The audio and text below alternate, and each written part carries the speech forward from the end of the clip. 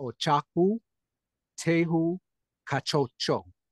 You come from indigenous parents. You come from an indigenous backstory and background.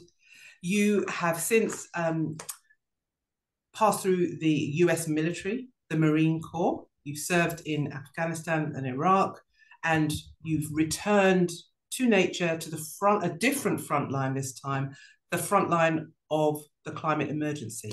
So, being here on the front lines, I believe that we are in the middle of the mess. You know, a lot of a lot of times when it's presented, people speak in a sense like it's coming, mm. and uh, we know different. It's it's here.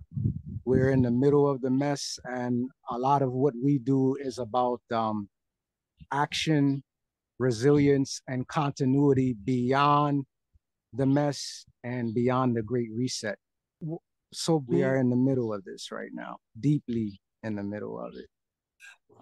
Our organization, the people involved, we're a bit, we have a, a, a perfect balance between science and indigenous wisdom. Hmm. And uh, my background, I hail from two great indigenous cultures, one from the East, one from the West.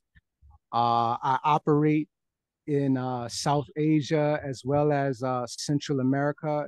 Uh, the majority of our uh, operations surrounding uh, collecting data sets, running ranger units, uh, decentralized sustainable development models. We are pioneers in that aspect because um, this is something that hasn't been done before. So you mentioned your organization. I'd like you to tell us a little bit about what your organization is and and what the mission is and what the work is. Most of us are indigenous people, but we are scientists.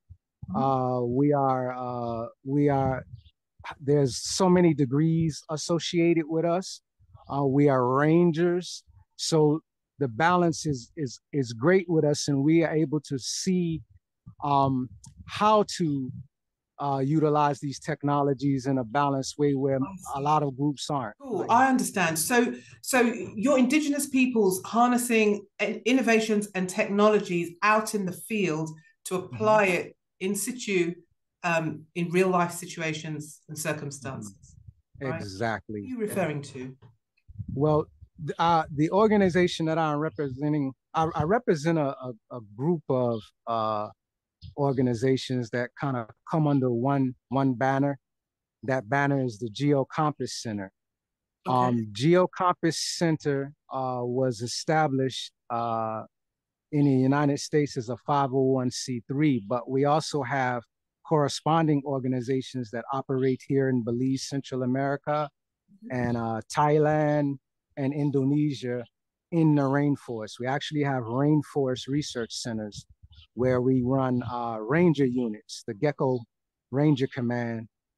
Uh, and those ranger units are responsible for uh, geospatial data analysis, collecting data sets on the, the biodiversity, on uh, the biocultural heritages that exist in the areas where we work and operate. So, so um, I, I, I guess applying that to the circulus uh, modem or making it relevant to circularists. I'll give you an example. When we landed on the ground here to build our research center, right? We we did not want to disturb nature. We did not want to set up a, a, a large carbon footprint that wasn't integrated into the nature. First things we did was we said, hey, uh, one of the things we have to master in in in putting our boots on the ground here is waste. Right. We have to we have to make sure that our waste becomes wealth. All our research centers run off of uh, biogas. And what is you know, biogas? All our waste. What is so biogas? biogas is um, methane cook. We run generators, everything from that waste. Mm. So we're able to, in, in our culture, we call it naka or the dragon biting its tail. So uh, we were to to to create a circular circular. Uh, I like the mindfulness with which you went into that space. You went in mindful to go circular and to do something that would conserve the area Um, and this waste becomes wealth. I just love that phrase uh, because that's that's at the heart of of circular circularity and the circular economy that everyone's talking about and dreaming about, but as yet haven't built. You understand? So that's what Satoshi Nakamoto did for us. We give thanks to Satoshi Nakamoto for doing that. And and now are you saying that you can see uh, blockchain as facilitating our efforts? The linear system is dying because it does not last. It is not ecocentric. You know, human centrism is our folly. We're not in the delusion that death is going to happen. It's happening now. And everything and all and everything that we are doing has to be to have meaning now. To another another question. So what is what's a typical day in your life?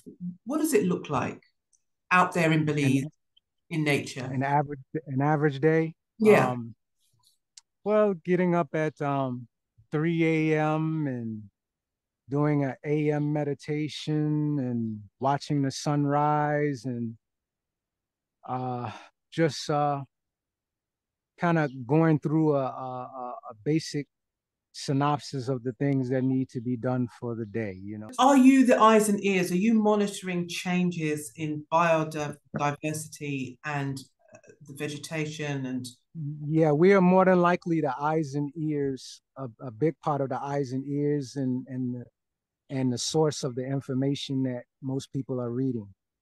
Uh, you know, from the news and different reports when they give examples of deforestation and uh, degree changes and things like that. It's the rangers. Oh, you know, the okay. we facilitate uh, space and and security for a lot of the researchers that come from uh, the various universities from around the world. Right. You know, to do their projects. So, uh, yep, mm. you know exactly mm-hmm. right here in this right here where i am 500 feet from me as soon as we get off i'm going to run down and jump in the waterfall oh, don't say that because it's hot life's you know, hard it's, enough it's a hundred it's a hundred and dr Xak I um in an earlier um, episode or an introductory episode of the Circularist, I asked the question, who does that? Meaning, who wakes up and decides they're going to turn the rest of their life over toward being a steward of of the environment and being part of this effort to limit runaway global warming. Who does that you've kind of answered this because it's in your dna but i'm going to ask you what is what was your reason when was your moment and and why this is this is that opportunity to big up the indigenous people indeed. around the planet Earth. Right? Yeah, indeed. Um, free energy should have been here a hundred years ago. Nikola Tesla walked the earth a hundred years ago. That man. And and, oh. and and we don't we don't we are all scrambling because of greed. One right. a group a cohort of individuals greed not because of what uh nature because nature provided it. You understand? I do. I was watching a video just last night about Nikola tesla um, and his theories and and the way he looked back to the pyramids of, of egypt mm-hmm. we think they're tombs there are some other ideas about them being energy generators using solar energy and all sorts of things this is a fascinating conversation. Uh, uh, um, uh, I'm very pleased to be talking with you today. Right. We could have had the answer. We could have gone in another. We could have taken another fork in the road. Like well, we did. We we did have the answer because if yeah, you... we look forward to hearing more from you. All right. Salute. Thank you very much. Thank you so much.